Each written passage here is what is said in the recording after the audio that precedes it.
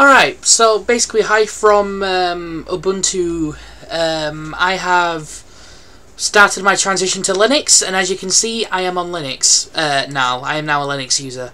But anyway, I have discovered a new bug um, with Steam on uh, Linux. I've had this happen a few times now on all distributions I have tried. I've tried Manjaro, Pop OS, Linux Mint, Fedora Linux. I've tried the whole lot and I've had nothing but constant issues with Linux.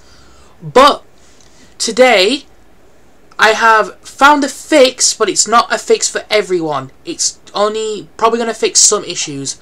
But you occasionally I have been getting issues where it says disk write error. But it only happens on new installs of Linux. So my fix was to basically go to Steam settings, go to your storage, click the three dots, go to your browse folder, and you see this entire Steam apps folder? In here, delete it all. I'm being serious.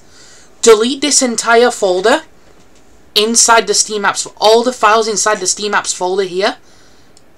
Go. Get rid of it. Drag it in your recycle bin and delete it. Make sure Steam is closed while you do that. And if it's doing the same on your other drives, go to head, go to well go ahead, go to your other drives, do the exact same, browse to your folder, and delete everything inside of it. That was my fix for basically getting rid of the disk write error bug. Not all distribute it doesn't work with all um but it may not fi be fixed for everyone. It only works for some people. Uh, I know this definitely works for me because I had it took me two hours of troubleshooting to figure out why this was happening. But after doing that, I was able to install Proton, my Proton versions. I'm currently testing VRChat to see if I can get it working on Linux. Because I am currently experimenting with the new Steam Link for Quest 2, well, Quest, well, for Oculus Quest. So, I'm going to be experimenting with that. But anyway, that's my little mini how-to. But yeah, I'll show you quick, like, quickly and straight to the point.